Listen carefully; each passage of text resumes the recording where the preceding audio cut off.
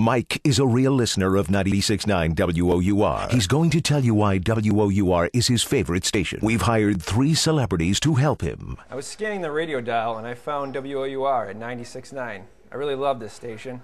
With Gomez and Dave in the morning. Great classic rock. Me and my buddies always turn it up. With Gomez and Dave. Yeah, WOUR is the station, the rock of Central New York. With Gomez and Dave in the morning. Yes, with Gomez and Dave in the morning. The Rock of Central New York. Classic Rock 96.9 WOUR with Gomez and Dave in the morning.